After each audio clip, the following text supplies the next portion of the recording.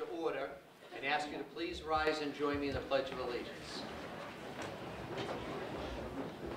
I pledge allegiance to the flag of the United States of America and to the republic for which it stands, one nation, under God, indivisible, with liberty and justice for all.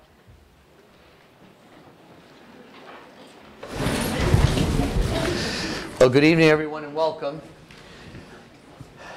We normally open each uh, regular school committee meeting with hearing of visitors. And this is an opportunity for residents to uh, express a view, uh, raise a question, raise an issue directly with myself, the superintendent, and the members of the school committee. We have a fairly extensive list tonight uh, of people that would like to speak, at least a dozen or more. So I'm going to, for those of you that are not typically here, let me just remind everybody what the ground rules are for hearing of visitors because we've got so many people that like to speak, that would like to speak, I'm going to have to be perhaps a little more diligent than usual in enforcing the time limit.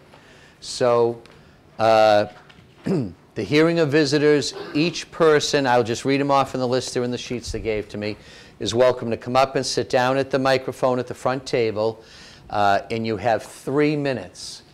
And typically I'm a little liberal with the three minutes, but tonight because we've got so many people who like an opportunity and we still have a lot of school committee business to do, I'm going to please ask everyone to be considerate of everyone else by limiting their remarks to three minutes. Get to the point.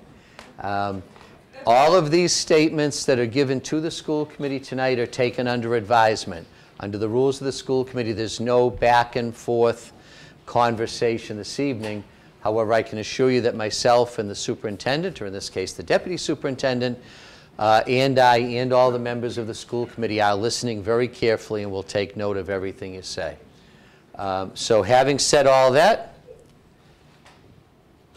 let me uh, begin welcoming people down to join us.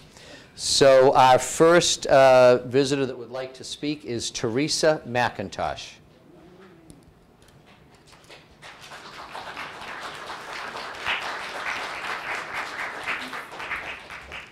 Good evening.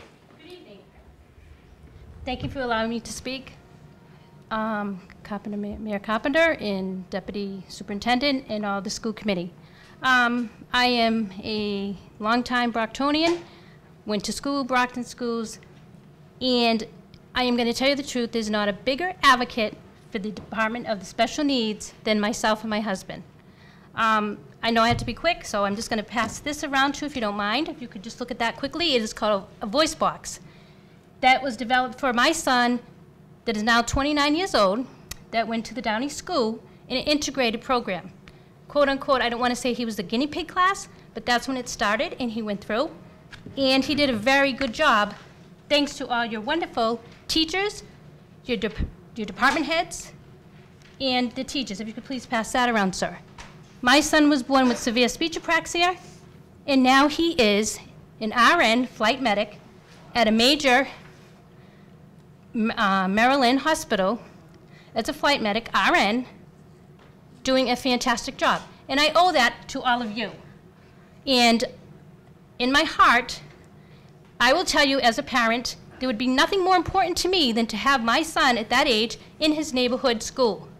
But it wasn't possible it was what my husband and I wanted, and it would have been good for him, for his friends in the neighborhood. But as a parent, you find other ways to have them socialize.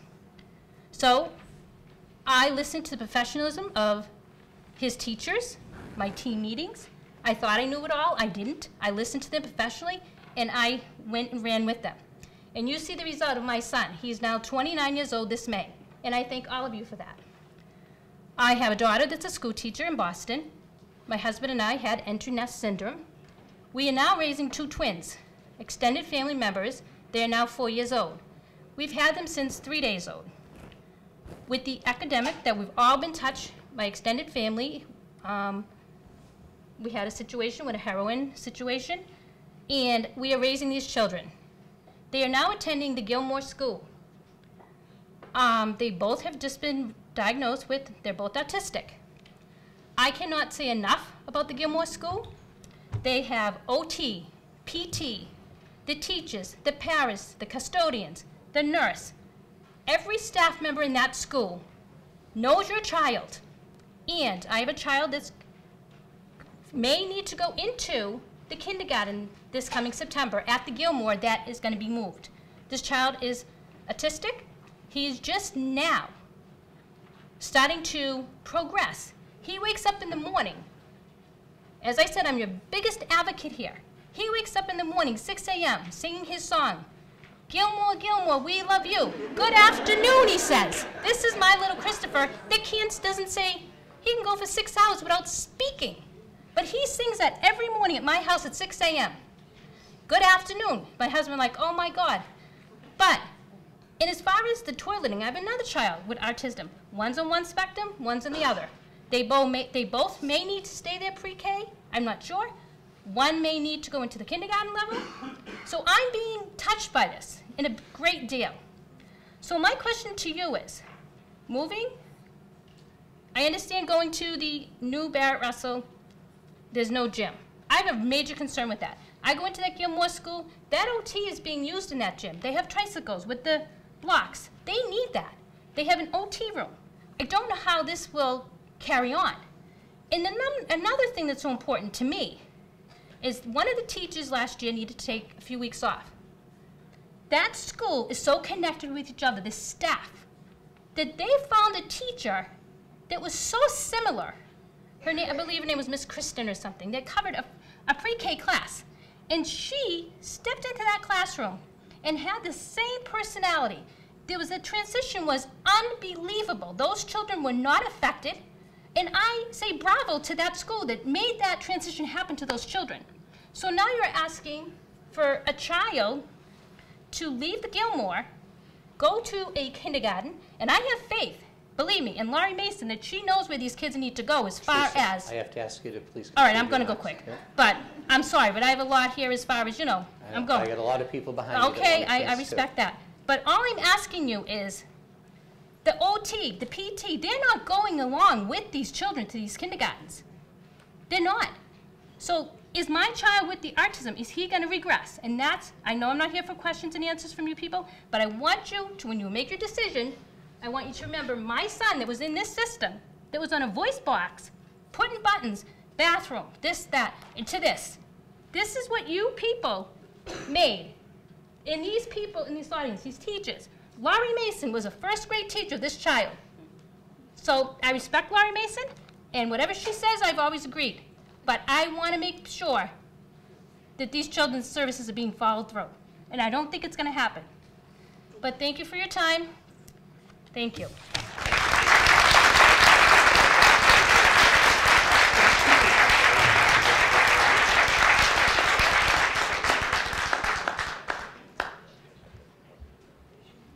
Thank you. Our next speaker is Karen Shore.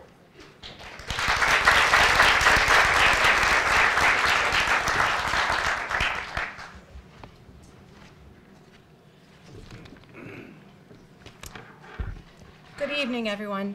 My name is Karen Shore, and I'm an occupational therapist, um, one of many specialists who provide um, diagnostic and therapeutic services at the Gilmore School. Um, we have spent uh, the last several weeks compiling data to let you know the magnitude of the assessments we do and the importance of our children receiving appropriate services and our families having adequate privacy and space for, um, for safe evaluations. Um, However, you're going to have to bear with me because the speech that we have been working on writing just went out the window with us hearing for the first time tonight um, that there are plans to move the evaluation team to another building. So I have been quickly jotting down some, some notes um, to speak to some of the things that we have heard tonight. Um, clearly, we don't know the logistics of, of how this will work, um, but I think it's important for everyone to know um, the special education evaluation process is a huge, huge part of what we do every day at the Gilmore School. Um, a large part of this process also includes observing children in the classroom and collaborating with classroom staff. Um, The um, evaluation team is made up of many specialists who are not full-time evaluators. Um, Often our time is split between doing evaluations, um, seeing children, and attending team meetings. Um, Testings and team meetings are regularly happening simultaneously um, four, four and a half days a week at the Gilmore School. So one therapist is evaluating while the other one is in the team meeting, and then the, and then they swap. So we're in and out of the team meeting rooms, in and out of the classrooms, in and out of testing situations on a regular basis. Um, and also, part of the educational assessment does involve bringing children into a classroom to be able to assess their play and social skills. Um, so if the evaluation team was housed in another building, that would, some, that would be something that would not be able to happen. Um, just a couple of more thoughts about some things that I heard tonight. Um, somebody asked a question about are the kids, if are the Gilmore kids, if they go to the Barrett, going to have a gym? And you were told that the cafeteria will be used as the gymnasium. Um, the fact sheet that was passed out to the parents um, during our meeting with the superintendent reads, and I quote, "The all-purpose room is designated for a variety of things, including adaptive physical education, physical therapy, and occupational therapy. In addition, this space is to be used for the cafeteria and the gymnasium. Well, therapy happens all day, every day at the Gilmore School. Um, so I cannot see how that could possibly be an adequate space for all of those things. Um, and just one more thing, we also heard tonight that the number of preschool teachers is being reduced for our program. Uh, our program is a program that has been consistently expanding. Um, we do have some information um, that we're going to pass out to you um, tonight to provide you um, just with some of our bullets and, and some facts about our numbers. Um, but th that information will support the expanding number of assessments and children in our program um, over the last few years. Um, so I do want to read my, my concluding paragraph because I think that we've it, it, means a lot to all of us. Um, the Gilmore School is really the face of our school district. Um, this is a very emotional time for many parents who bring their very vulnerable children in for an evaluation. They need to feel comfortable, they need to feel welcomed, and they need to know that they can trust us with their children. We're asking you to consider our needs and requests as you plan the move so that we can continue to effectively evaluate and treat our children and their families. We're not here to be difficult. We just want to be able to do our jobs well and keep our children safe. Thank you.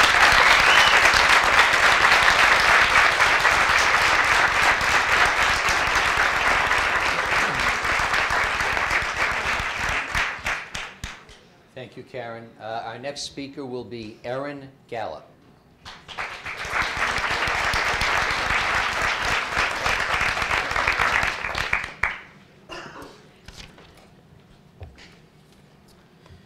Good evening, ladies and gentlemen of the school committee, fellow educators, parents, and guests. My name is Erin Gallup, and I am a special needs teacher at the Gilmore School. Our Early Childhood Center currently has an enrollment of 334 students with a projected enrollment of 380 students for June of 2017.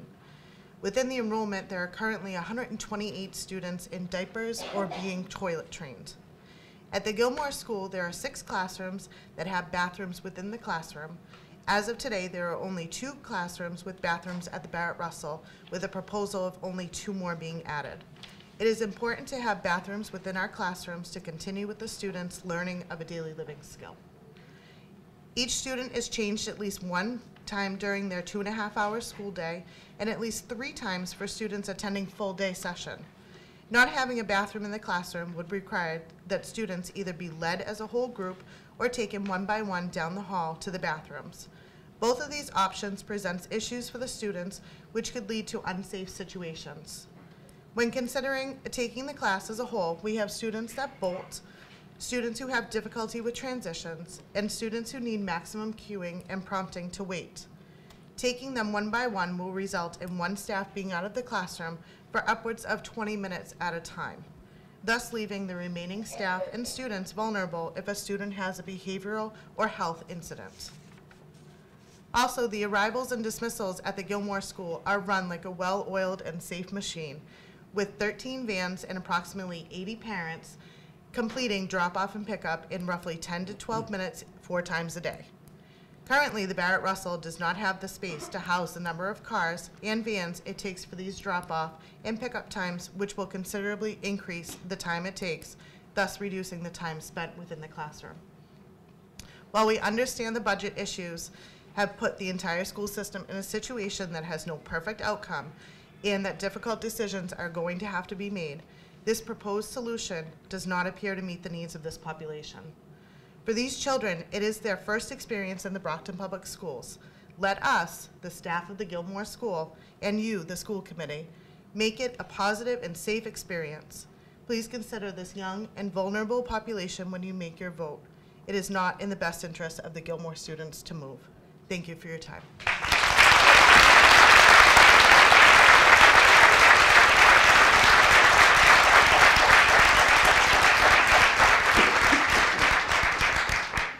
Thank you, Erin. Our next speakers are Timothy and Dina Furtado.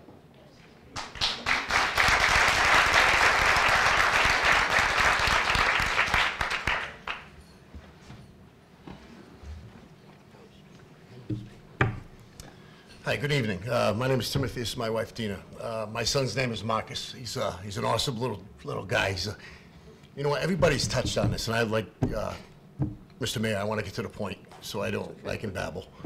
Um, I I'm got the very- clock running. Yeah, I get on the. You have to understand. I'm very, very, extremely passionate about my son. Um, basically, what we're comparing you know, what, what- what, what I was, when I was in the service, I was in the Marines, you know, I listened, I listened to the, the recon. The aspect of what I'm getting here is, I'm listening to recon. And they say, no, so I'm not going there. Why am I, why is my son, why is my son like the bathrooms? Uh, my son goes to the bathroom three times a day, almost on schedule. Um, he, he, he, he, play, he plays a lot. This ain't good. I, I, I've seen it. I've gone over the numbers. I had a speech and everything. I just can't sit here and read it. I, I'm not that kind of guy. My son is my world. He needs every damn little friggin' thing in, the, in this brick in the buildings that you can imagine. You're putting him in a smaller school. You're taking away his help. You're making him change in places where he can't change. He's a stressful little dude.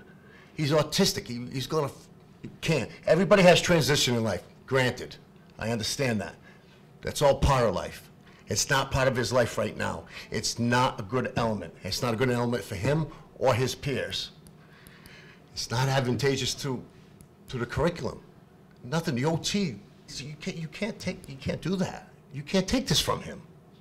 My little man is starting to say words now and do it. They're excellent. These people are, are I mean,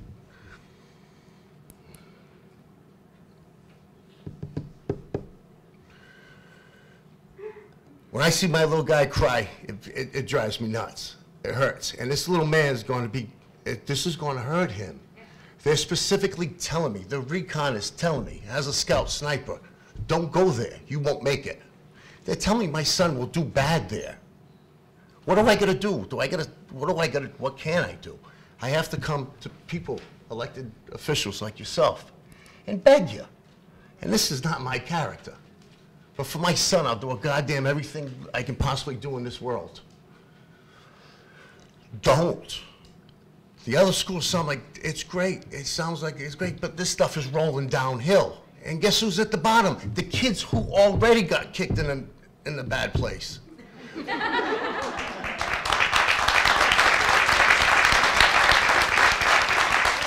As mothers and fathers, as mothers and fathers, look, this, I'm speaking for my son, and if my son could speak like this, he'd probably tell you, no, no, no. He'd point, he'd pull my wife over to you and he'd point at you. He said, no.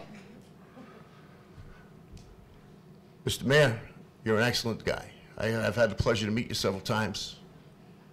The- The people here, thank you. I, I understand. I, I believe you guys are talking for us. I really do. No. It's no. If I had a shirt, I'd say it. No, it's not right. You're gonna hurt my guy. We all, you're gonna hurt my guy. If I wanna make it personal, you know, it's not personal, I know that.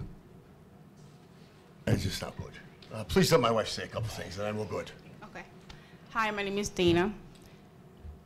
Since Mark has been at the Gilmore, he's been phenomenal in terms of at first he wasn't speaking at all. They have a team that does phenomenal things with him. For the first time, I was able to hear my son speak. He have never said a word. He's going on four. First time I've heard him say A, B, C, and recognize it. That's the Gilmore. That's the team. He has a team. And without them, he wouldn't be able to do none of that. And not just them, and I'm following doctor's orders in terms of tough medical. They tell me what to do. I let the school know. They write on it. Every time. Never delay, never what if, let's do the, no. Whatever the doctor recommended, they honor it. And it worked. If the system worked, why changed it? I, I don't understand. It's just, you, you learn all that stuff with the OT. And I understand, I understand the cost. The cost of, you- that should bother you too. That's, it's a big cost to move them. You're gonna, the, the OT would, you take one teacher, you take three paraprofessionals. You add in, it's just smaller. Probably a beautiful school. Like I said, I would honor that open house. We this is the city of champions, right? Champions take care of the little guy. Let's do this again. Let's do it now. Let's take care of the little guy. My little guy and the rest of them. One last thing. I want to say one last thing. When school closed, my son is able to have summer classes. That is, he flourish a lot because he's just going right through school, and that helps him a lot. He needs to have that as well. And I don't know if Russell School provide that when school closed. And I need my school, I need my kid to be in a place where they're gonna have a team. The the team that he knows now is the team that I want him to continue have for him to grow and develop. And so far, it's been working. And I just want to leave it like that. Thanks,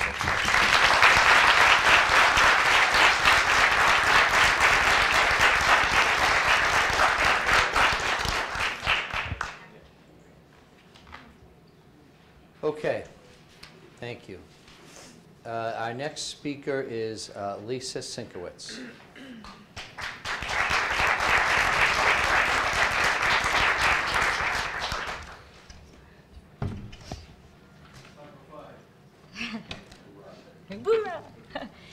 Uh, Good evening, school committee meetings, Deputy Superintendent, Mayor Carpenter.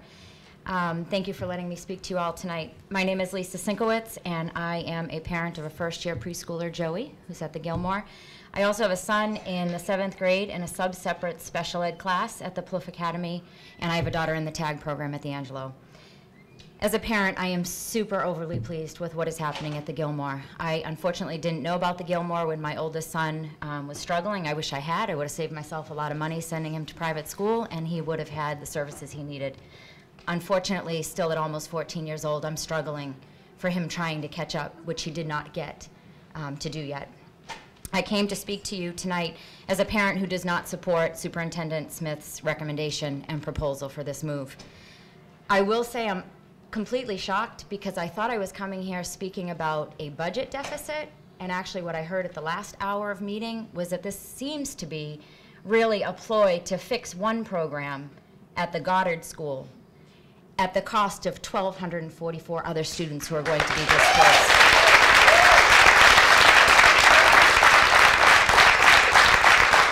I can't help but feel duped by Superintendent Smith.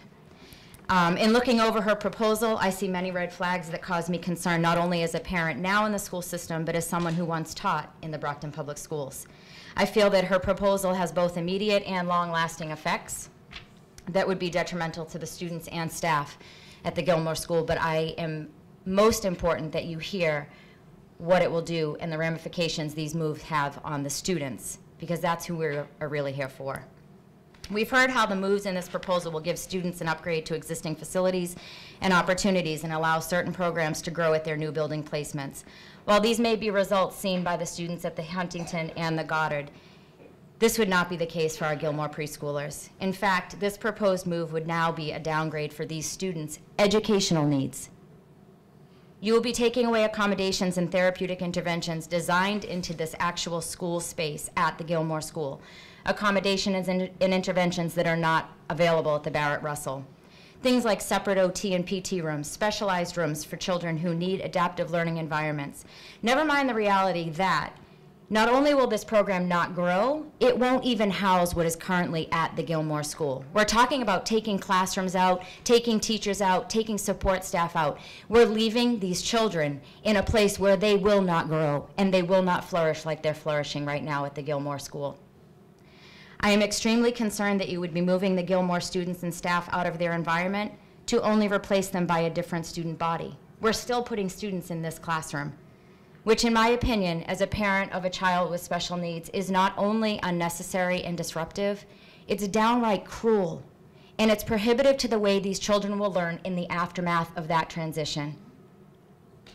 Superintendent Smith expressed that students would transition and be okay, and that most teachers would follow. Most. I don't know if you saw on that, but all the students and teachers are going from Goddard. All are going from Huntington. They put a number. They're not taking all from the Gilmore, which means our Gilmore kids are going to suffer.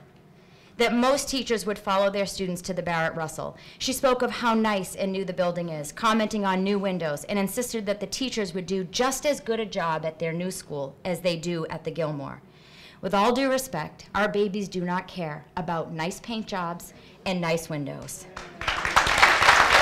And frankly, I would go so far as to say neither do our teachers at the Gilmore School. In fact, I'm leaning on personal experience as a teacher in Weston, Massachusetts, the wealthiest community in the, in the Commonwealth, and Brockton, Mass, to say that what we can provide as teachers is sometimes limited based on the resources we are given. My passion and heart for teaching never changed, but the resources that were accessible to me in Weston definitely improved the learning environment in which I worked. The same is true for Gilmore. Though it is not a wealthy suburb, it is equipped with resources needed by these preschoolers. Resources that should not be stripped away from them. Resources that should not be sacrificed for a budget deficit or the growth of another program. Resources that will help our children with special needs and without receive a strong foundation for future learning, learning in this Brockton Public Schools setting. Sure, we can have a multi-purpose room, purpose room. We can have nice windows. That's just an easy way, a pretty way of saying make do. Do without. Transition, you'll be fine. By taking away the resources provided at the Gilmore building and school, we are challenging our preschoolers to learn in ways that don't support their needs and effects and the effects of doing that will far outlast and cost the school system more than any budget deficit you are up against now we acknowledge that something needs to be done. If this is about the budget, it's not the right answer. If this is about growing another program, it's still not the right answer. Either way you look at it, it's not the right answer. Lisa, I have to ask you to please wrap up. We wholeheartedly disagree with Superintendent Smith's proposal and hope that you will listen to our concerns to present a better resolution. Thank you for hearing from me.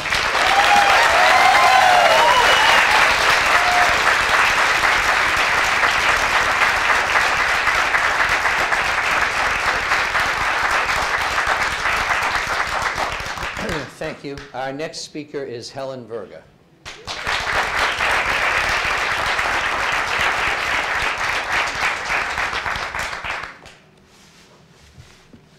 Good evening, everybody. Hi, Helen. Hi. My name is Dr. Helen Verga. I say doctor because John Jerome told me I should always say doctor because I earned it. So that's for John.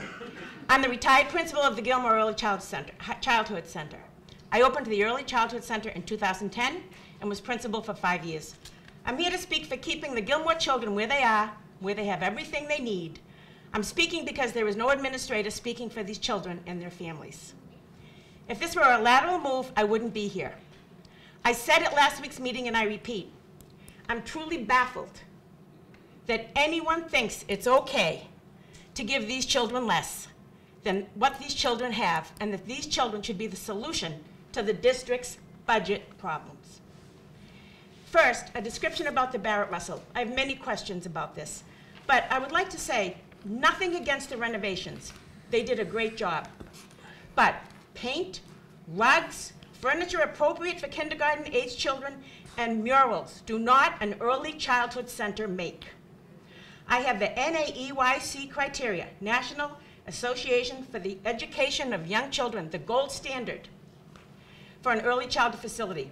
The are known in Angelo K classes, met these criteria and should be proud to have done so.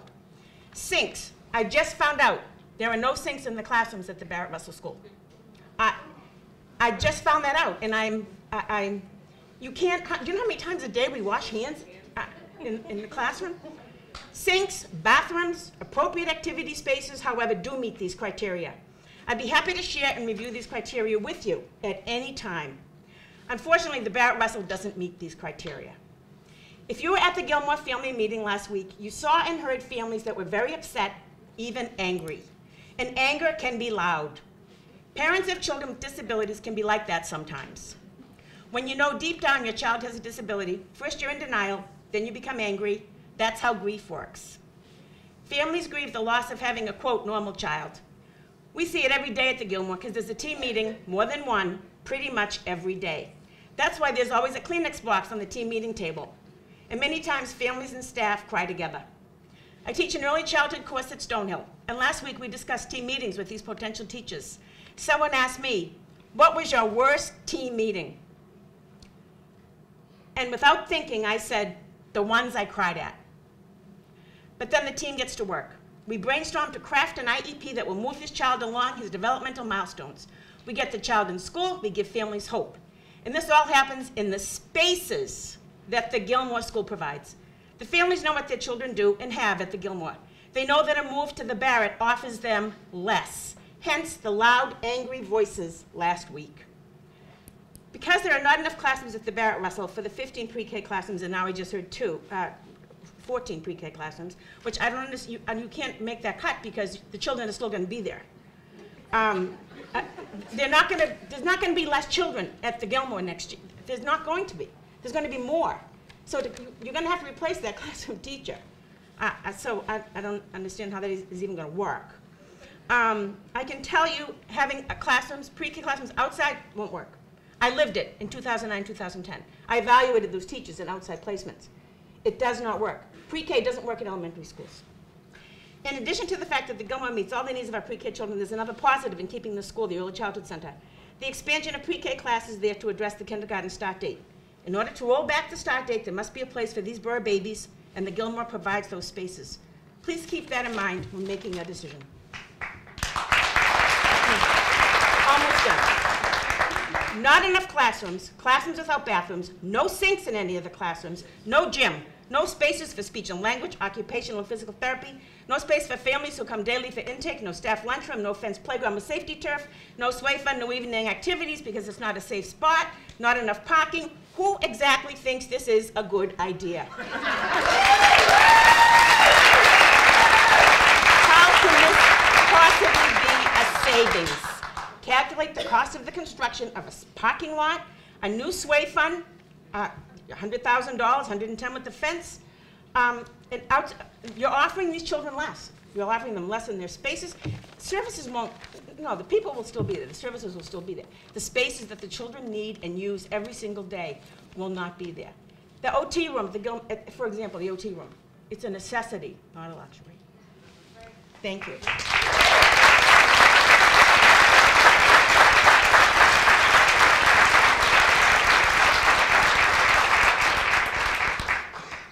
Thank you, Dr. Verga.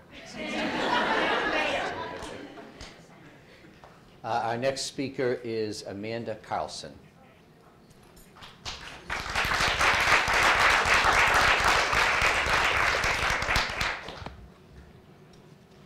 Good evening, everyone. Um, I'd like to speak about my son that went there. These teachers behind me all know my son. He went there knowing a handful of words. Can you speak up just a little bit more into the mic so everyone can hear? He went there you? knowing a handful of words. My son can tell you stories that don't even exist, okay? Karen works with him daily. Losing that occupational room and putting it into a multi-purpose room will not work. You have children that have sensory issues that cannot deal with the noise. So having it turned into a cafeteria, a physical education, a physical education room, physical therapy room, an adaptable education room, there is no space for our ball pit, our swing, our slide, or other equipment. There is no way our children can thrive in that space that is provided. It, it won't work. And I hope you guys have toured the Gilmore School and have seen all the rooms that we have. It's not going to fit in one little room. There's, there's no way. And kids like, like my son are not going to be able to. My kid can, can now catch a ball. He couldn't catch a ball. He used to run into the wall. Every day I used to say, Gavin, run with your head up, run with your head up. Now my son no longer runs into walls. So I don't have to worry about that anymore. And he, his speech, I have to thank Miss Amanda because she has done wonderful with him.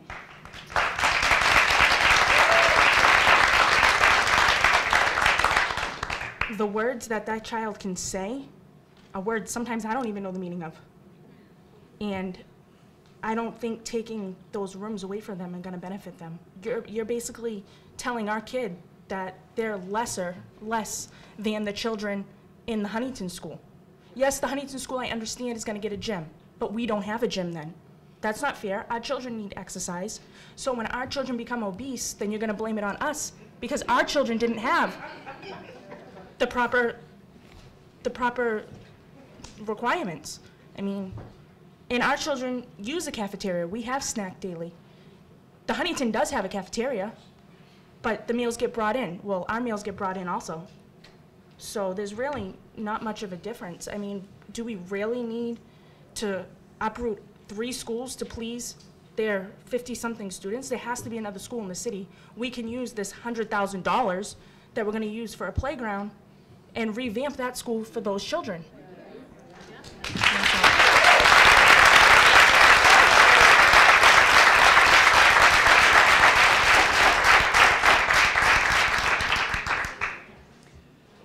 Thank you, Amanda. Uh, Our next speaker is Liz Kahn.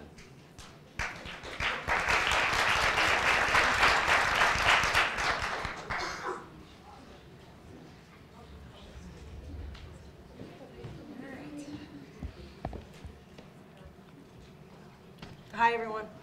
Uh, I'm Liz Kahn, and I have two children at the Gilmore School. Um, I have one that's five, and her name is Abby, and she has come so far. She gets APE, she gets OT, and she's got sensory processing disorder. I do sensory diet at home. I don't know if you guys know what that is, but that's like, you know, squeezing Play-Doh, that's jumping off cushions, that's squeezing. Kids need room. I know, I live it. I got, and I got another kid with special needs. Au- he's got auditory, he's got sensory, he's got speech. He just got to the Gilmore in January. Why would you take that away? So, anyway, um, he loves the school and they accommodate him. He has accommodations, movement breaks, auditory, cancellation headphones.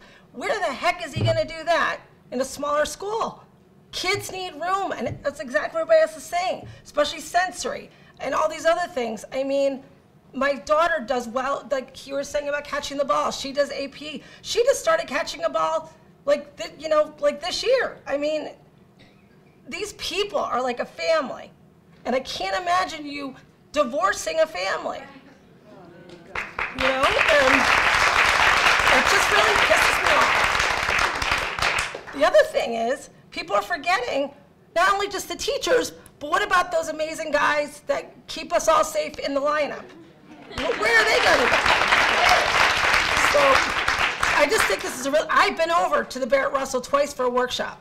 And let me tell you, that cafeteria is small.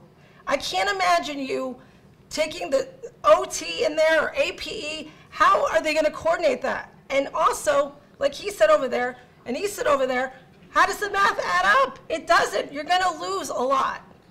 How are you going to fit all those wonderful children now into the Barrett Russell? I, I just don't see the math adding up. And I, I just, I really beg that you vote no on this.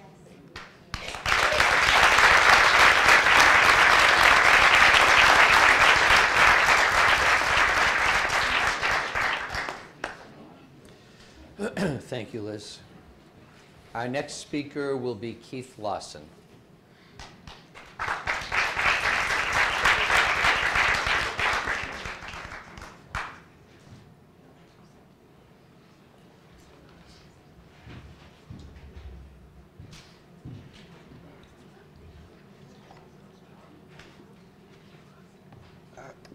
Mr. Mayor, Assistant Superintendent, thank you for your time. Um, I didn't prepare a speech, I'm just going to muddle through as best as I can. Uh, First Amendment of the United States Constitution states that we have five basic rights. Right to free speech, religion, the press, assembly, and the right to air grievances. And I am here this evening to air a grievance. From uh, what I have seen in the proposal that has been set forward, my heart goes out to the students of the Goddard School. I understand that it's a substandard facility. It doesn't meet the bare minimum standards for special ed children. I get it. It's 56 students. Something must be done about that.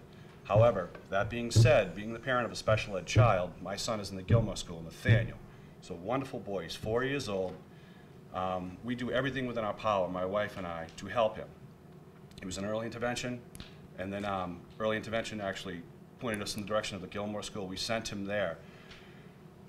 Um, parents without a special need child, they take a lot of things for granted. I'll give you an example. Last night, my son did something for the first time. At age four, he should already be doing this. I have a two-year-old daughter who doesn't have special needs. She already does this. He looked at me, he made eye contact, he acknowledged me. And then he started to identify things. I know he's four, right? He, I'm talking to him, and he's like, you know, I, I said, all right, we're gonna get you ready for bed, and he looked at me and he said, bed. But he, he wasn't just repeating words, he was actually acknowledging me, which is big. Um, and then I put him up on his changing table, and I'm like, all right, buddy, we're gonna get you changed. He's like, he looks at me and he said, table.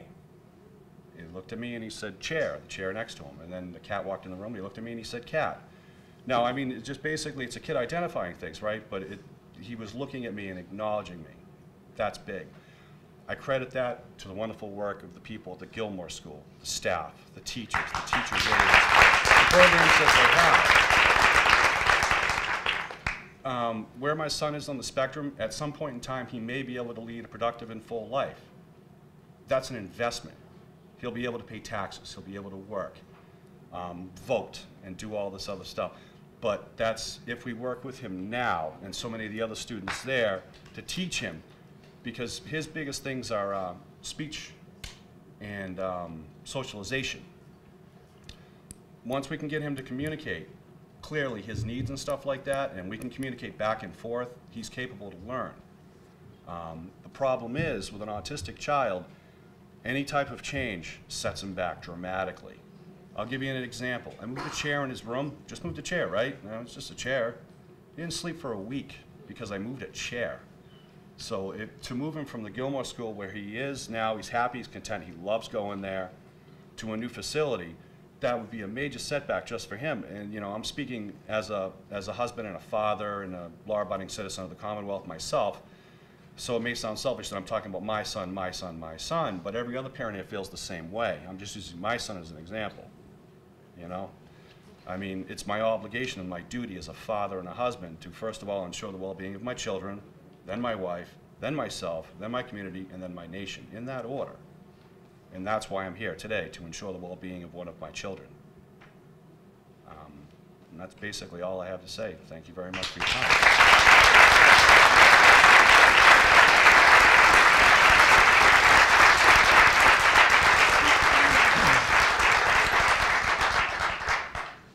Thank you, Keith. Our next speaker will be Maureen Riley. Hi,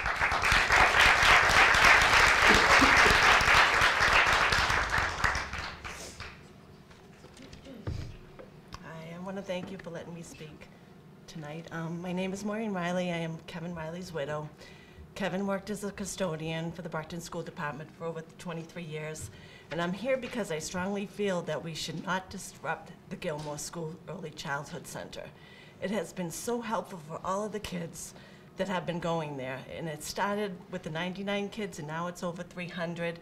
I mean, it's, it's such a wonderful school with the, pl- the playground and the sway fun, a handicapped accessible piece of equipment that was dedicated to my husband, and not even like two years ago. And this dedication to him meant the world to him, to me.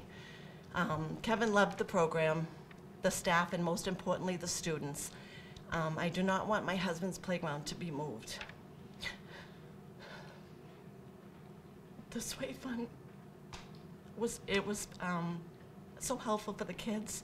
I've seen so many different kids um, learn so much from the school. I heard so many stories from the teachers. Um, what, what amazing school it is. Um, My nephew, who was- has a walker, was able to enjoy it because of the hard work and dedication of the BTA, the staff, and the community. Um, I don't want the playground or the school to be moved. Um, Just, you know, if you could keep that in mind, I appreciate it. Thank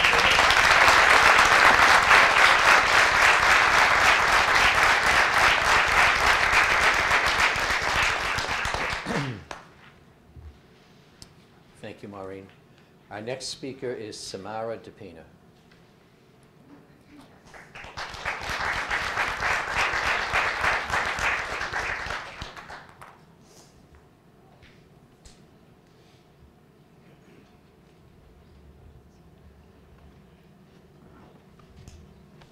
Hi. Good evening. I want to start by introducing myself. My name is Samara DePina. I have a five-year-old boy who attends the Huntington School as a kindergarten student.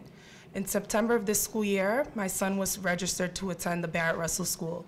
Although Barrett Russell School is a great school, I wanted my son to attend a school that holds grades K to 6 instead of just kindergarten.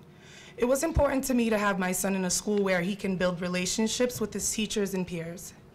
With the help of Mary Beth O'Brien, the principal at the Huntington School, I was able to transfer my son into the Huntington School this year.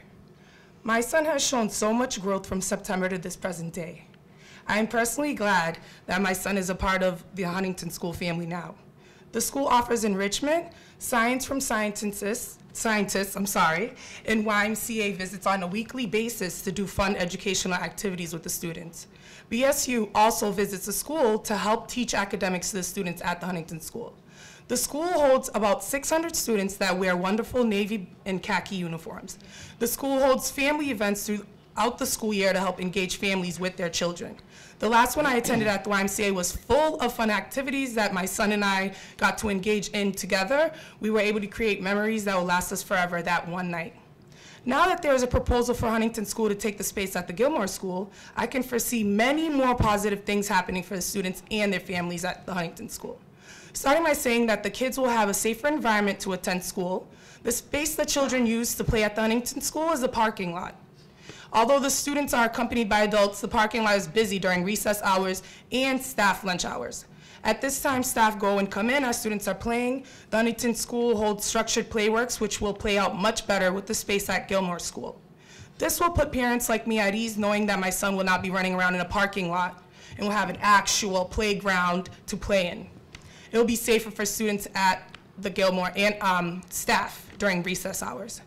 Now, I'm sure that everyone who lives within a mile radius of the Huntington School understands that the traffic is caused at arrival and dismissal times by the Huntington School parents and children. The area is congested with traffic at this time, which wouldn't occur if the Huntington School family was to relocate to Gilmore School.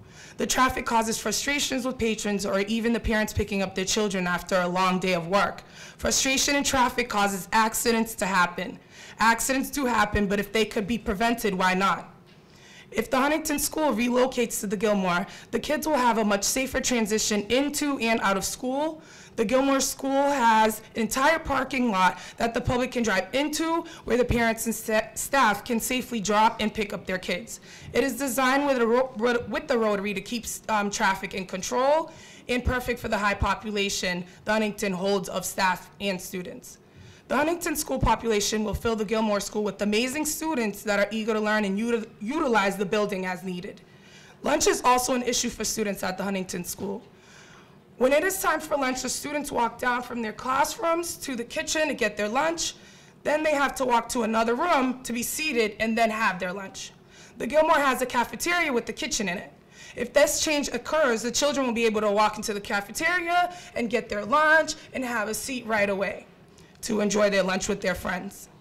They will also have many more choices for lunch since there is a kitchen there. The kitchen will greatly be appreciated.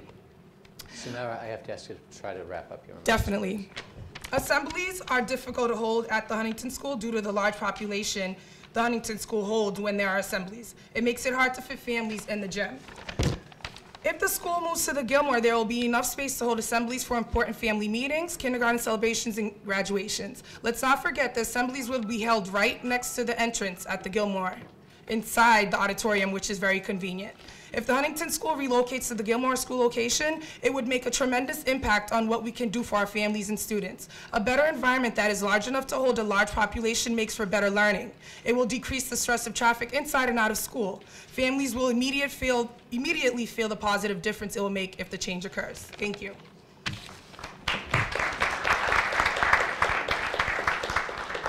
Thank you, Samara.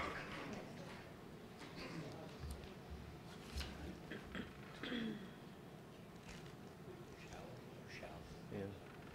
I, I need, I can't, I have a little trouble understanding the handwriting. Kate, Kate, you shall? Am I saying it right? You know who you are, Kate.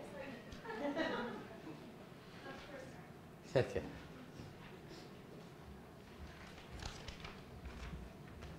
Hi, good evening, everybody. Uh, my name is Kate. Um, I have two children at the Huntington School.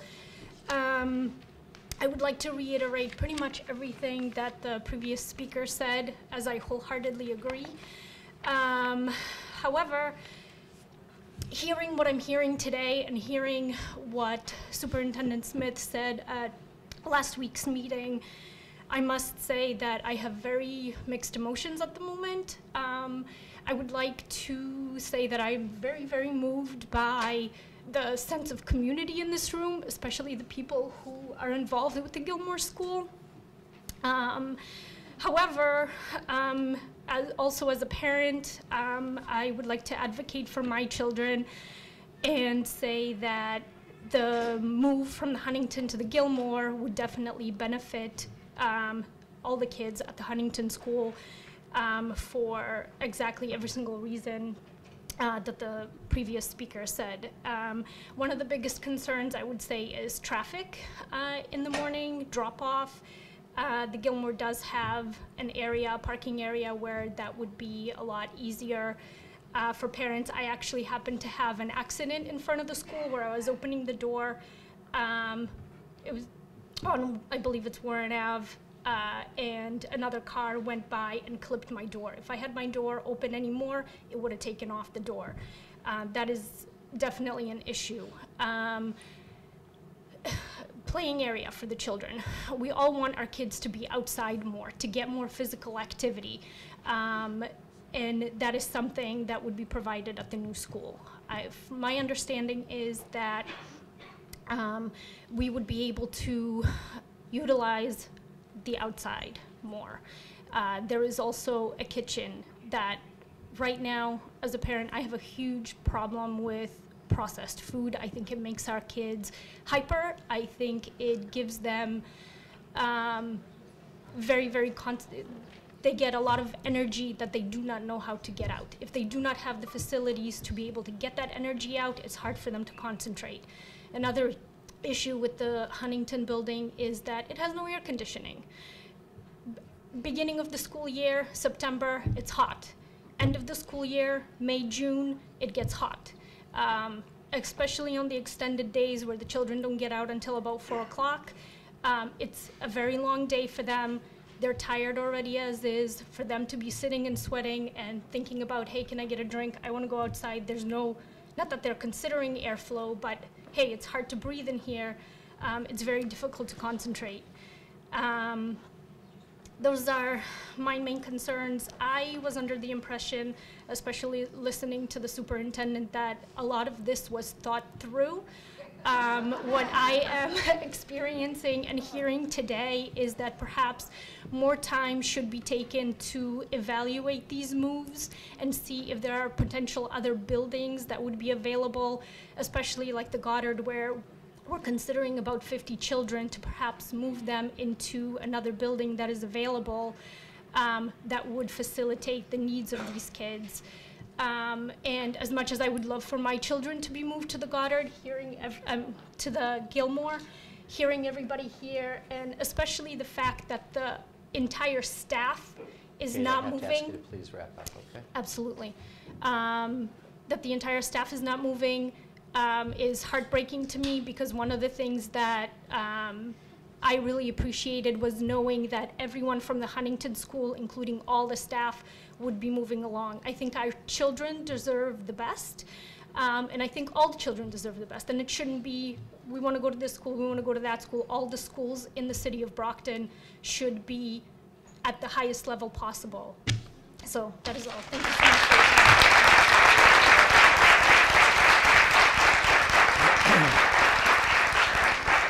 for your time. Okay, that's all the folks that we had uh, signed up for hearing of visitors. I can assure you that everyone's listened very closely. We can't respond. Tom, you're the vice chair. Do you want to make just some very just general comment without directly responding Yes, on, um, on behalf of the entire committee? You know, This is a process. The committee is uh, doing its due diligence. We're going to explore, um, you know, all options. We're going to take our time and, um, you know, I- I- there's no easy, there's no easy solution to uh, our various, obviously, issues that the district faces at all levels, whether it's placement, budget, um, resources. So, um, you know, we're, we're, we're all in a tough position. Um, The parents, we certainly hear what you're saying. Um, Let us, uh, you know, do our due diligence, and um, we will, um, you know, do what we feel is, is the right um, decision, basically. But um, I appreciate um, uh, everyone's um, courteousness tonight. It seemed like um, people, you know, it's a very emotional issue. We all get that. There's no doubt about it. But everyone was, was courteous, and, and we all certainly, as a committee and a community, appreciate that. And we will have further discussion on this. There will be an open house for people to take a look at the uh, Barrett Russell, and the committee will, um, you know, obviously discuss many of the issues that were raised by all of the, um, you know, all of the school committee members, and obviously some of the issues that were raised by people speaking. So I appreciate, um, I appreciate your um, thoughts on the matter. I know that um, this is a very exciting committee, but if people would like to leave, because now we're going to do the routine business, but if you feel welcome to stick around for the rest of the meeting, but... Uh, Not yet, not yet, not yet. But um, that's basically I'm going to take a recess in a minute, Okay. and everybody will be able to... Great, all right, so thank you for attending, and, um, you know, we will, like I said, give this matter a lot of thought. Folks, if if I could, I- I'd like to just make a couple general comments to everyone also. Folks, if you give me just a minute, I'll give you a couple general comments, because we cannot directly respond to, to 12 speakers. Um, First of all, the budget deficit is very real. The cuts this year are going to be the most painful the school system has ever seen. The lack of funding again this year on the state level is it's criminal. Um, Right now, using rough numbers, if we have to balance the budget with what the state aid is right now, even with me sending over any, every penny I can find from the city side, it's probably about a $15 million deficit. You're talking about 300, maybe 400 teacher layoffs if those numbers were to stand. That's going to have a devastating impact across the entire system. No one's going to be spared any pain. So I just want to put in perspective for you that the school committee is trying to work with the superintendent to look at any available options to try to minimize the damage. We need your help advocating at the state level. This is the second year in a row that the Chapter 78 is not even close for a city like Brockton, a gateway city that educates kids from families with the challenges you have. I will tell you my own personal experience. You're not going to get a more sympathetic set of ears than mine for the Gilmore parents. My grandson who lives with me spent two years at the Gilmore with Helen and her wonderful people. I know how great they all are. And I know how great the school is. Um, believe me, Helen, when you say, talk about, you know, people crying in team meetings, I mean, when I sat through my grandson's neurological evaluation a year and a half ago, I cried for days. So, I mean, I, I know we, we got to do the best we can for our most vulnerable kids. but this school committee is just faced with an insurmountable challenge of trying to see where we can try to save some money and preserve staff. Because what I heard a lot of tonight was talking about the great people who work inside the Gilmore School every day.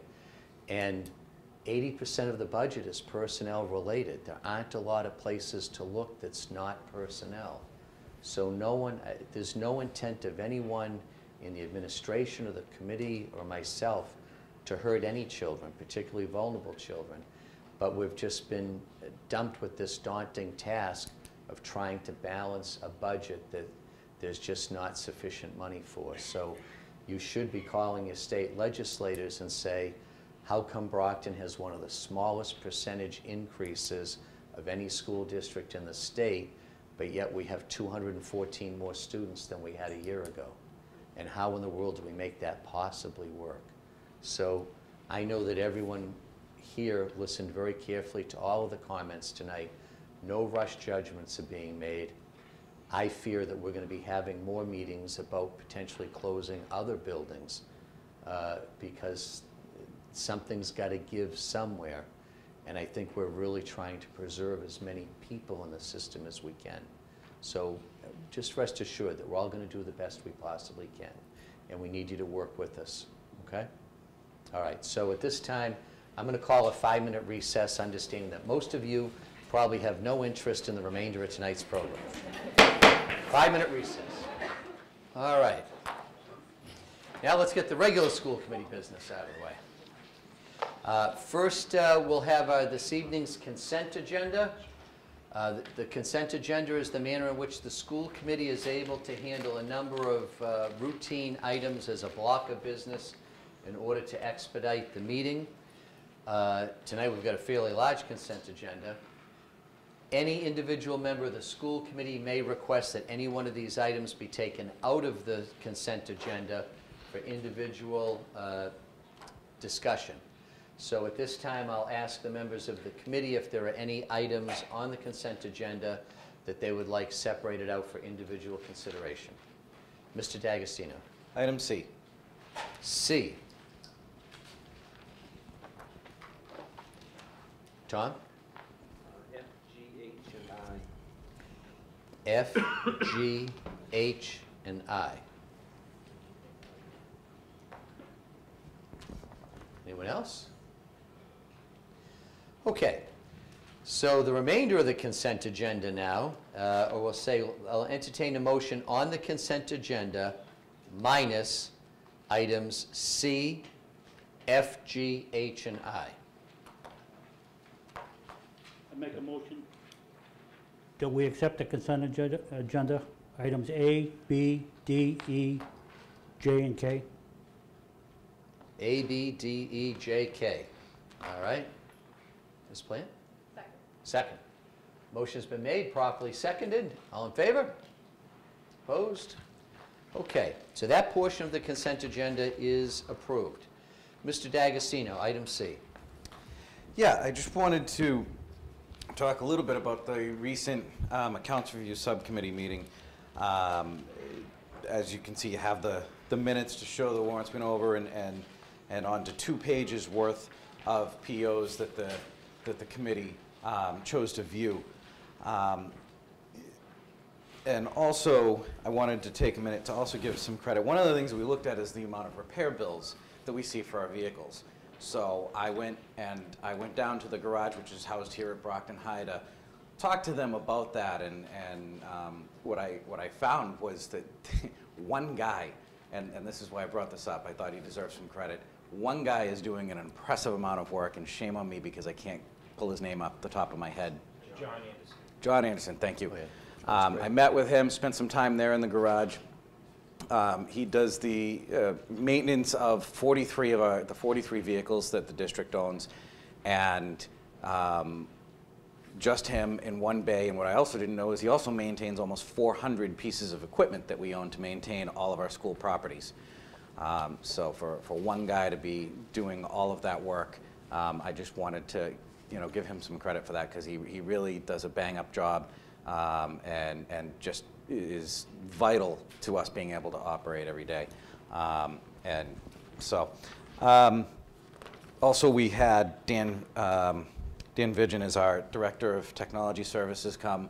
A lot of times we see these POs that are, it's an amount that's encumbered, but we don't really see the details, and so we were able to get a lot of details from him on um, various different technology-related expenses that, um, you know, we wanted to have a greater understanding of. That's it. Awesome, yeah. John does do an incredible job. Yeah, I was quite impressed. Okay, any further discussion on item C? If not, we'll entertain a motion on that. Motion to uh, approve item C. Okay, motion made, second? Seconded by Ms. Asack. All in favor? Approved unanimously. Mr. Minichiello, you've got F, G, H, and I. And um, I can speak to them in a bundle, um, Mr. Mayor. Basically, we, um, we have some very uh, generous people in the community, and I just like to point out um, when people provide scholarship opportunities for our students. And in this case, those uh, four items are as follows. Um, A very nice scholarship in the amount of $500 from the City um, Scholarship Fund, and then Mr. Jeffrey Lopes, um, who donated that uh, scholarship. We also have um, the Brian M. Silva Memorial Scholarship. That's also another $500 um, scholarship provided, uh, being provided to our students. We also have the Mark Robert Boucher Memorial Scholarship, and I believe that one is uh, a couple of thousand dollars. Um, Let's see, um, a $1,000 award annually. Um, So that's wonderful. And we also have the uh, Italian-American War Veterans Scholarship, and that is in the amount of $250. So um, I I just think it's appropriate for us as a committee to acknowledge and thank those um, entities for being generous to our students. Uh, Absolutely. So I would make a uh, motion to approve items F, G, H, and I. Motion's been made, properly seconded. Any further discussion on the motion? All in favor? Approved unanimously.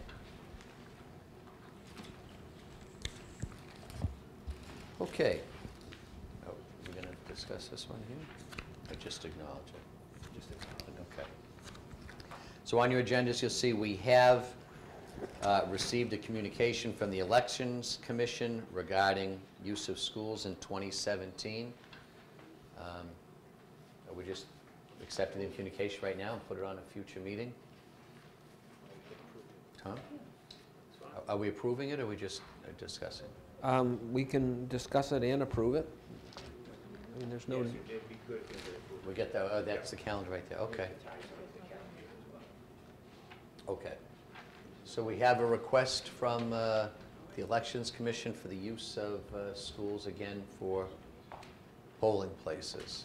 Make a motion to approve the request for the election commission to use the polling places in the Brockton Public Schools. Okay, we've got a motion and a second. Any further discussion on the motion? Ms. Just to Blaine? clarify, the schools will not be used on these days for any um, school activities, correct? For the main election, not the primary, we stay open, which is, I don't have that September date. September but in, 19th. um, It's the. The 19th, But 19th. it- the election day, um, which is usually the larger turnout on um, November 7th, schools would be closed. Okay, so is that clear? So on, on the, the date of the preliminary election in September, schools would remain open. We would close schools on the actual final election date of November 7th. That's consistent with how we've done it the last couple of years. Turnout on the preliminary tends to be a lot lighter than it is on the, the November election. Okay? Any further discussion? Okay, motion's been made and properly seconded. All in favor? Opposed? Approved. Okay, we'll turn things over to Deputy Deputy Superintendent Thomas for the superintendent's report on teaching and learning. Uh, Thank you, Mayor. Um, Our student um, representative from Brockton High School could not join us tonight, so we'll move on. And the- and the first thing on Uh, My list is the draft, it's the first read of the 2017-2018 district calendar. As you know, we just talked about the um, election day, but this is, again, the first read. I am not looking for it to be approved, approved tonight, but um, just to highlight some dates, uh, the first day for teachers would be September 5th, which is the Tuesday after Labor Day. The first day for students would be September 6th, which is a Wednesday. And the first day for uh, pre-K and kindergarten would be September 18th. Um, And a couple other highlights, graduation for Brockton High School would be Saturday, September 2nd. And with no snow days, um, the last day of school would be on the 18th of June. And obviously, we- would add um, for every school day we would have to cancel. Building in the five days, uh, if we were to have five, that would take us to the 25th of June. So this is the first read of the calendar, the draft. I think we're a little bit, about a month earlier this year with the, uh, with the calendar, which we were hoping to get out a little earlier this year. So we could get it approved pretty much by April to, uh, you know, to give families the opportunity to see um, the days off and the in-service days we have next year uh, for their planning purposes. So we will not be looking for approval tonight for this, but we will, hopefully, the second meeting in March. Okay. Moving on to a very sad subject. Um, As you know in your report, and it was reported in the Enterprise, that uh, last Wednesday and Thursday here at Brockton High School, um, we found racist, um, anti-Semitic, disgusting, vile writing um, that shook us all to the core. Um, As you know, the Brockton, Brockton High, the Brockton Public Schools, and the community of Brockton um, builds itself off of the diversity. Uh, Being a graduate of Brockton High School, um, you know, the reason I am who I am is because I went through a, a school system that's diverse uh, and work in a school system di- that's diverse. And um, this shook us all to the core. Um, School police and school administration continue to investigate to try to find the perpetrator or perpetrators. Um, If these people are caught, or students are caught, they'll face expulsion through our handbook and our um, due process system, and they'll also be charged with hate crimes. Um, I appreciate the support from, from the committee, um, the mayor's office, and the police department and school police in helping us um, try to track down who did this. And unfortunately, it's something that's happening across the country. Um, We're dealing, it, dealing with it here. Um, Fortunately, it was so far only at Brockton High School and has not been found in any of our 22 other locations.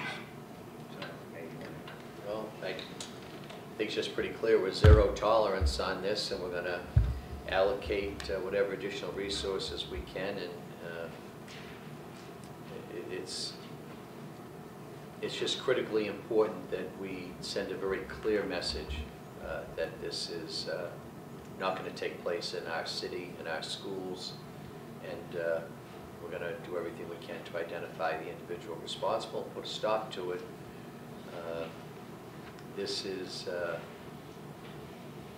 you know, this, this high school is really special, and special for a lot of reasons, and one of it is that a lot of different kind of folks all get their education here together, and uh, the fact that this could even happen here is a little mind-boggling to me, but uh, clearly, we've got a misguided individual, and we're going to address it as most effectively as we can. Um, Well, I think I already expressed to you, Mr. Thomas, this was especially upsetting as I was just at a diversity meeting where the general um, opinion of those in attendance was that our youth are so much more inclusive um, and accepting of one another, and that is generally the spirit of our city and the spirit of our schools. Um, Another question would be, if we find this perpetrator, is there some way of perhaps getting them some sensitivity training? Is there going to be perhaps, you know, in a way that if we do catch the student, students, we can educate them and perhaps try sending them in the right direction in the future? Yeah, that's a good question. Um, Actually, this Thursday afternoon, the superintendent and I uh, um, and Sharon Boulder are meeting with uh, a member from the Anti-Defamation League from Boston. Um, They're coming out there, they're education specialists. Uh, They'll be working on us, with us to provide um, the options that they provide for opportunities they provide for training, not only for, um, for students and also for staff. Um, So we're looking forward to that meeting on Thursday afternoon. Great, thank you. Students and also for staff. Um, So we're looking forward to that meeting on Thursday afternoon. Great, thank you. Mr. Minichiello. I certainly uh, echo the comments of both the mayor and Mr. Thomas. And, um, you know, with regard to sensitivity training, um, if in fact this person is caught, um, it will be through probation, through the courts, that they would be um, training and, and basically uh, a court-imposed order to attend certain uh, racial, racially sensitive trainings. But, you know, make no mistake about it, this community and this committee um, is not going to tolerate something like that. And um, I think that we all know in our hearts that this is not reflective of this city, nor our school system in Brockton High School. This is, to me, an act of cowardice by, uh, you know, one or two uh, very foolish individuals, immature, and um, you know, if they have hate in their heart, then they will be dealt with if they're caught. However, if they think this is just something uh, that's a big joke, they're going to find out if they get caught that it's not a big joke. Um, so um, this committee is obviously in full support of every action uh, by you, Mr. Thomas, and our school police to uh, find out who did it because we're not going to we're not going to be labeled by the um, stupidity of, of, of very few, you know. So.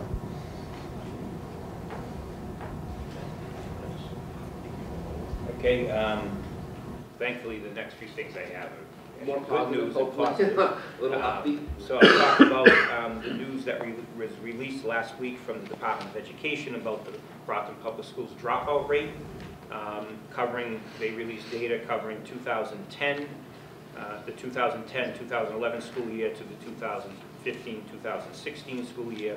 We're pleased to announce that the dropout rate for the Brockton Public Schools dropped nearly in half 2010 to 2011, it was at 15.7%.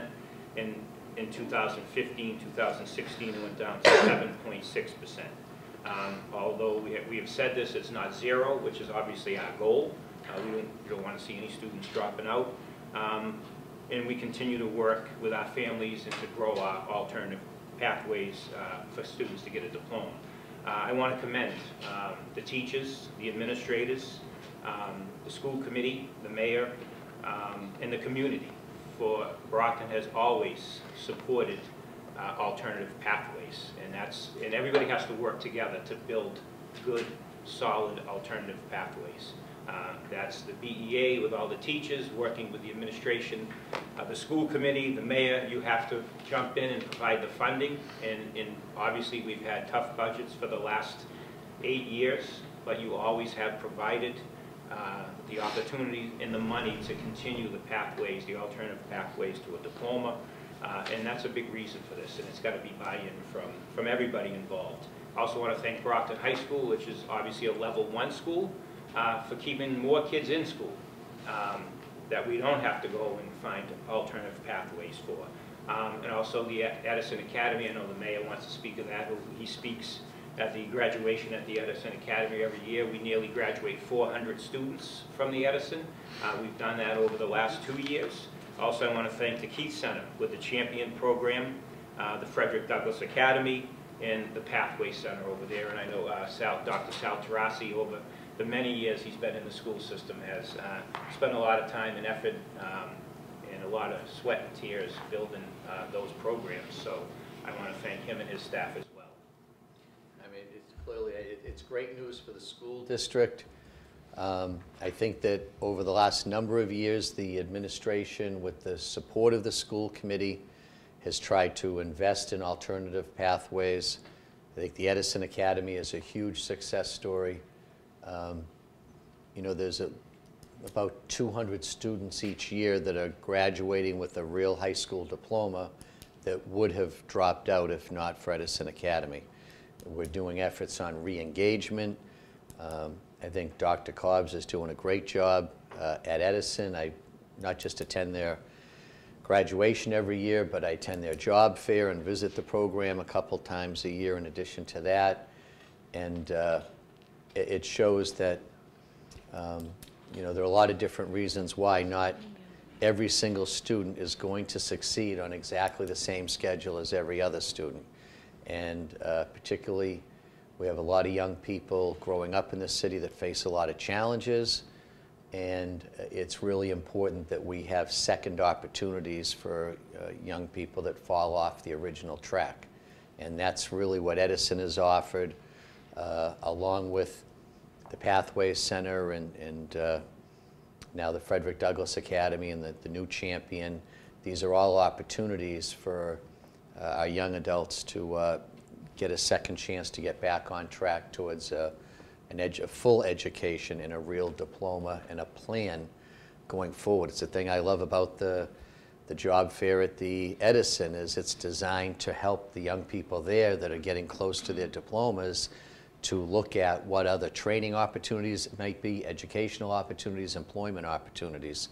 So it's about you know getting a diploma, but also getting a diploma with a plan. So I think that uh, you know the work is not done by any means, but I think it's uh, it's great news for the city of Brockton to show uh, what an outstanding urban school district we are, and the fact that uh, we are getting a lot more young people to the finish line than we were before. And uh, that's going to give them a much greater chance to uh, have a successful life. So I congratulate everyone from every aspect of it, from our teaching faculty right through to the committee's support of these alternative programs that are, you know, finding money in these budgets, as we know, is, is very difficult, but it's a good investment. Uh, I've said to people many times, the, the county jail is full of guys that don't have a high school diploma. Uh, so I mean, this is really, really critical to uh, engage students that have fallen off track and, and give them a second opportunity to, su to succeed. And I think that's what we're doing. else? Okay, Mr. Thomas, go Uh, ahead. Next, I want to congratulate um, Brockton High. Um, They received uh, the Massachusetts Skills Capital Grant that supports advanced uh, manufacturing pathways. Uh, Last Friday, the um, Brockton High School Youth Career Connect STEM program uh, was awarded $495,674.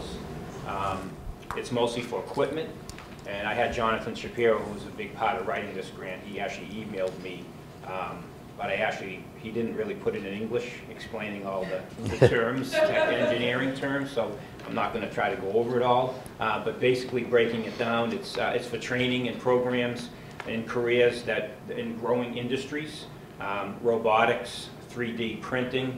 Um, It's gonna be for a lot of machines that, that do that kind of work, and they train the students to use that, so we will be expanding some of our areas around the biotech lab on the first floor of this building. I want to thank Jonathan Jonathan Shapiro, he's the Brockton High School Science Department head, uh, Laurie Silva, uh, Bob Perkins, the Associate Principal at Brockton High, the Business and Tech Department here at the high school, Business and Career Tech. Bay also joined with us to help us with this, and also Massasoit Community College was the college partner. Uh, So I want to congratulate those who wrote this grant, and this, again, is mostly for equipment, and there's some for training as well.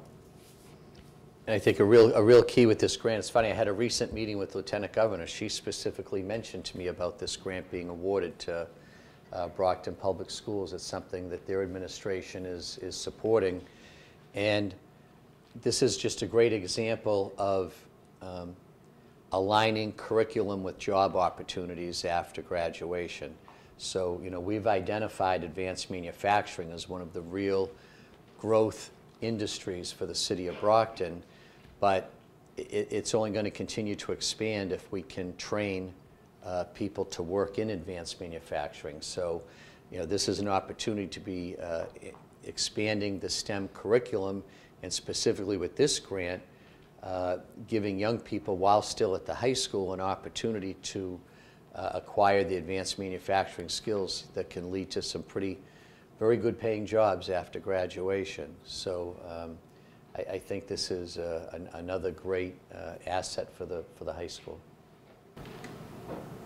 Um, Next, I want to ask, um, this is for your permission, for an out-of-state field trip that um, we didn't have time to get on the agenda, but the Brockton High School 4x400 relay team, uh, and also one of those members qualified for the individual mile this Friday and Saturday in New York City. Um, They qualified last week. Uh, This is the New Balance Armory they'll be performing at. This is a New Balance meet. Um, It's going to be Friday night for the 4x400 relay, um, and then Saturday morning will be the one mile. So I want to congratulate Chris McCaffrey. He's on the relay team, but he's also qualified for the, for the one mile. Uh, Runanio Ra- Ramos, Josue Dos Santos, and Cedric Sufont. Those are the four um, that are running. And then we have the alternate is Anton uh. He'll be going as well. And the two coaches, we want to congratulate, congratulate John Fidalgo and also Carlito Weaver. Um, So those s- seven will be going to New York City. They will leave on Friday morning here from Brockton High at about 10 a.m. They'll drive to um, New York City. They're actually going to be staying at the, uh, the host of the, uh, for the Hilton Hotel in the Meadowlands is hosting uh, all the athletes and coaches. They'll be staying there. Um, I have a van service taking them out, so they will have a 7D driver. Uh, The coaches will be together with the, the five athletes.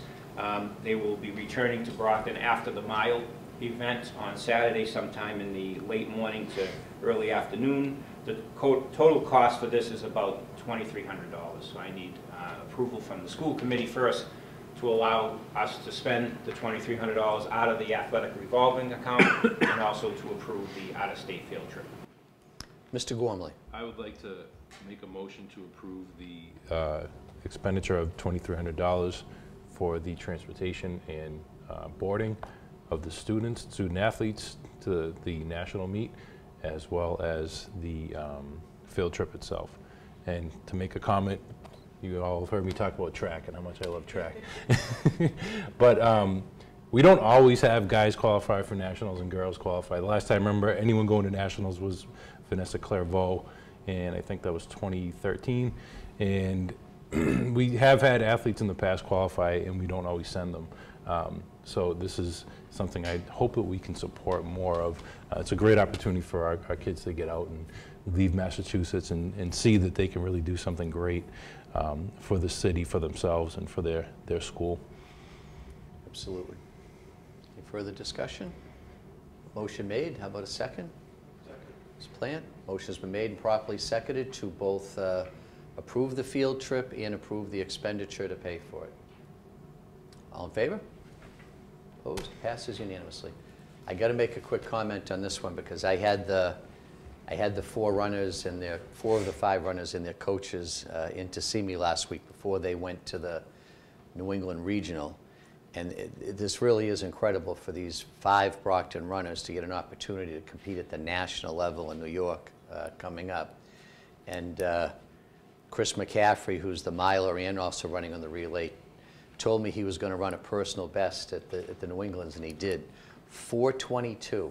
Can you imagine what it takes to run a mile in four minutes? Four?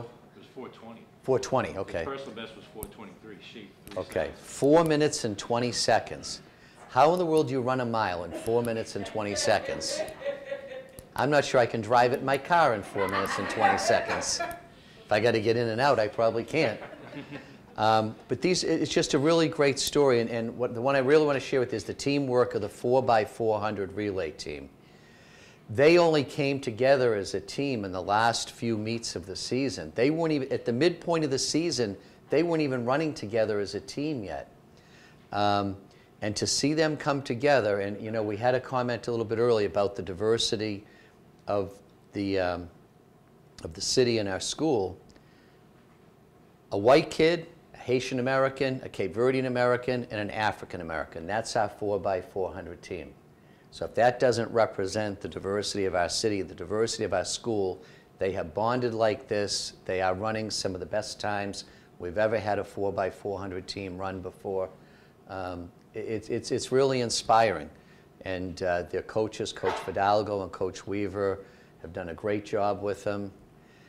I remember Coach Weaver as a kid playing baseball and football, and uh, he was a terrific athlete and played football at UMass Amherst, and they've just done a great job with the young people. So we really need, I, I appreciate the support of the school committee um, because they, they really have earned this opportunity to go down to New York and compete in a national meet. So I'm- I know we all send them our best. Go ahead. That's all I got to say. That's all I've got to say on that. Uh, This came in today to uh, Michelle Bolton, that um, Channel 5, the Good Morning Eye Opener Wake Up Call on Monday, March 13th, will be uh, Brockton um, High School Television Club. So they'll be featured on that. That's um, at 5:10 a.m., and then they'll do it again at 6:10 a.m. So that's coming up again on Monday, March 13th. And that's it under my reports. Okay. All right. uh, Anything, any requests under items to refer to subcommittees by members of the uh, committee? No? Okay. Under new business, uh, BPS Code of Conduct Task Force? Yes, the superintendent put together with the, um, the BEA, uh, Kim Gibson, um, uh, two teams, a team of administrators, uh, teachers, um, union members to develop towards the goal of developing a new code of conduct. Uh, And she has spoken to you about this either in the retreat, and um, she actually, uh, this comes from the trip that was done in Syracuse. Um, So we are looking for, part of that was to have a school committee member to be a part of this uh, joint task force, which will be uh, non-union members, BEA members, and we also need a school committee representative. So if I could get a nominee here tonight to serve on that committee, um, can actually move forward and schedule the first meeting. Did we decide what time these meetings are going to be? I know I had actually expressed interest in it, but I'm Yeah, not we- sure if these are going to be daytime. We wanted to wait to work with the school committee member. Okay. Um, So we didn't uh, really want to set times until we had a member, so we could try to fit them in as best possible for the times that work. So it is a possibility that they could be happening in the evening hours? Yes. Okay. Mr. Sullivan? I'd like to nominate Lisa Plant as our representative. I think I just asked for that, huh? Quick move. I You've accept. You've served on the school committee before, haven't you? I'm not sure if you took a step forward or everyone else took a step back, but uh, um, we have a motion uh, made and properly seconded to uh, uh, appoint Lisa Plant uh, to represent the school committee on the joint task force. Joyce? I nominate Mr. Gormley. Okay, we have a nomination for Mr. Gormley. That's been seconded. Hmm? Happy to take two. If no one else wants to... No, I, I, yeah. Yeah. Um, If no one else is dying to serve on this, why don't we just ask them both to serve? Yep. How's that? All right, so Mr. Gormley and Ms. Plant will both uh, represent the school committee. Okay, so how about, a uh, how about one motion that appoints both? Gormley to serve on the task force. Okay, second, all in favor? Approved. Thank you. Thank you very much, both of you. That's actually a very, a very important mission, and it's important to have the school committee on there. School committee does set policy. Okay, anything else? No. You sure? Okay. Uh, Any other members with any new business?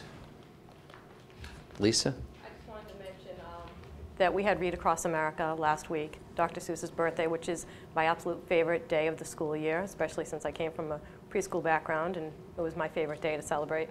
Um, so I had gone and read at the Barrett Russell, and I went to the Arnone, and I even went and read at my fifth graders class over at the Angelo School. Um, and every child at every grade level is very excited to be read to. I, saw, I know many other people who have gone into those schools and read as well, and I saw our representatives, our city councilors. Um, it was wonderful to see all those people there. Um, I got a certificate, I got a thank you card, but I got from the Arnone School, which I just received today and I'm very excited about when I came to the meeting, a letter from the Mr. Santos's class at the Arnone School. And it says, Dear Mrs. Plant, we were delighted that you came to our class to celebrate Dr. Seuss's birthday with us. The book was so funny and we really enjoyed it. Also, the lesson is true that we should try to make something good out of what we have. And the book I read to them was Dr. Seuss's Oh, the Thinks You Can Think. Um, So they, they liked the message in that book. Um, I'm sorry, no, to that class I read, Did I Ever Tell You How Lucky You Are? Confusing the three books I read that day.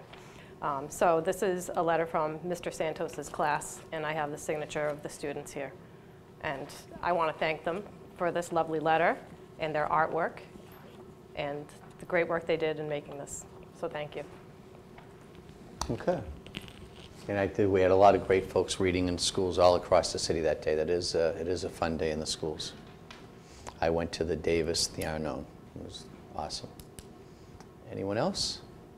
Mr. D'Agostino. Also, uh, com- uh, commenting further on uh, Ms. Plant, I had the invite and opportunity to read in um, Mrs. Wedge's class at the um, Arnone School. And because my wife and I read so much to Evan, I brought him with me.